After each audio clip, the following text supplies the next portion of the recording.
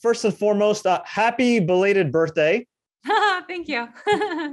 Of course, February 4th, Reacher coming out on Amazon Prime Video. You've been pretty versatile throughout your career. Of course, in, in, this show, you play Roscoe Conklin. When you heard that you were getting this role and going to be a part of the Jack Reacher universe that includes the film with Tom Cruise and the iconic novels, what was your reaction? Oh, I was so excited. I mean, I think that the the scripts that I had read were amazing, and I was so excited to get to play to play Roscoe. I mean, she's such a fun character, and she is, you know, I, I knew that it was going to be a really fun project to shoot because of you know that pilot episode which is just so quippy and intriguing. Was there any prep that you felt the need to do as far as go through novels go back and watch the film anything like that? Um, i actually chose not to watch the film. I hadn't seen the film um, before i auditioned and i kind of didn't really want that to uh, i guess shade what i thought nick santora's interpretation of the material was after I got the part, I went ahead and I, I read Lee Child's book, which is wonderful.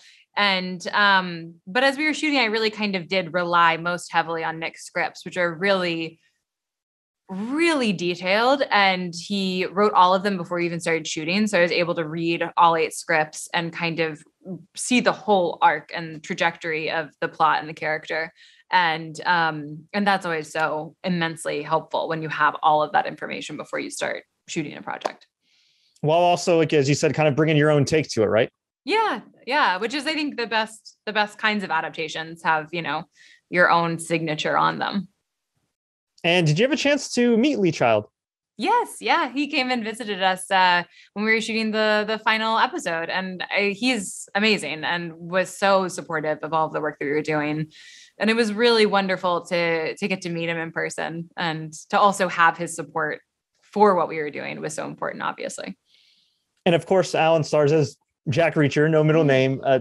the chemistry between you two uh, seems pretty awesome. Did you click initially? Yeah, yeah. We had a we had a chemistry read on Zoom um, before I got the job, and I mean, you know, he and I kind of hit it off.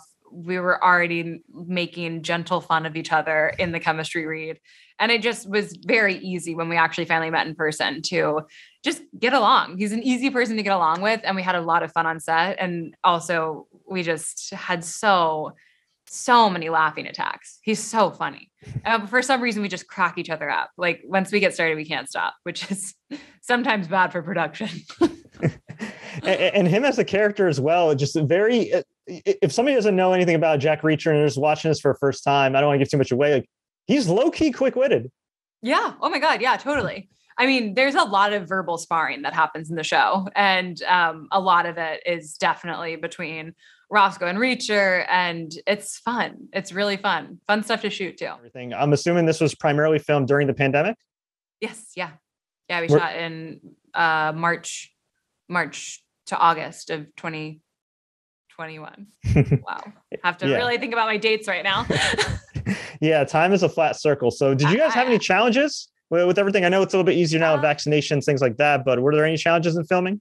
Yeah, I mean, I think the biggest challenge was we were shooting in Toronto, and Toronto was locked down for mm. most of that time. So, I think the biggest challenge was was kind of the people who were our costumers had a hard time shopping because no stores were open and uh and you could and a living challenge was that the only thing you could do was go to the grocery store really so it was definitely kind of a return to 2020 um, for I think the people who traveled to Toronto to shoot there.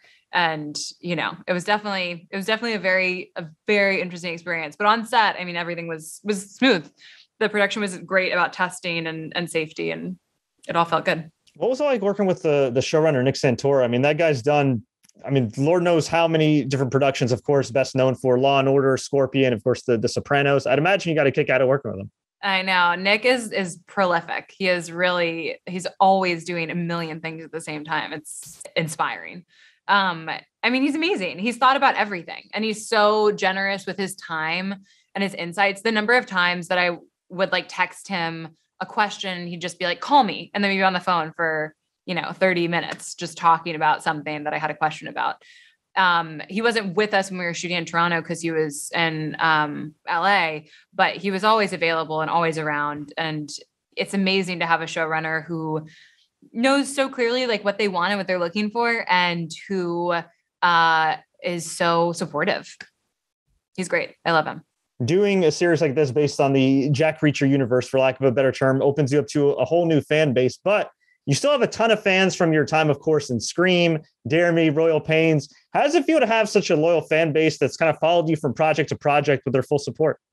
Yeah, I mean, it's really wonderful. It's always such a it's always such an interesting dynamic because there's all of these people who feel very connected to me and my work who I just don't know and it's it's really lovely when you get to hear hear from them that the work that you do is touching them in a specific way or helping them through a hard time.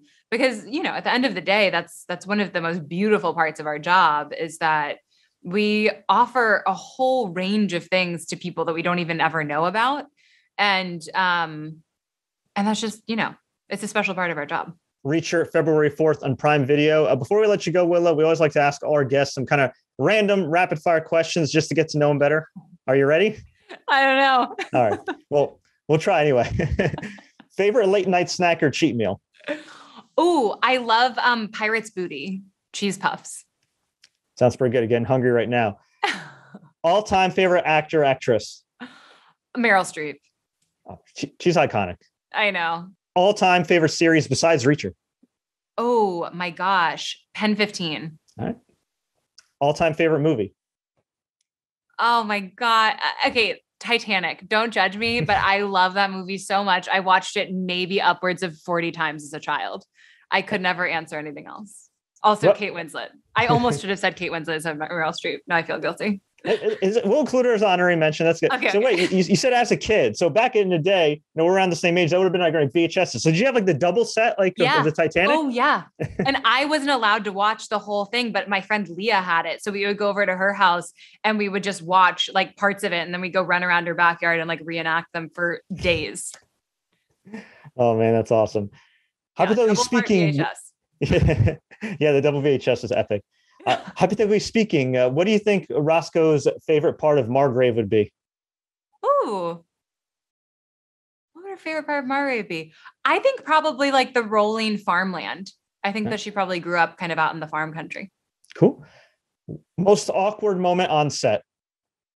Most awkward. I mean, sex scenes. They're always awkward. There's no getting around them especially when you're just like BFFs with your co-star and you're like, I guess we have to get naked now. yeah, I've, I've, I've, this seems like a recurrent theme. I've heard that. Yeah, so. it's just that is what it is. yeah. And in one line or less, why should people watch Reacher February 4th on Prime Video? Because you're not going to want to stop watching it and it's going to make your day better. I love it. Well, well, Willa, thank you so much for your time. Of course, everybody can check out Reacher on Prime Video beginning February 4th. Thanks so much. Best of luck and everything.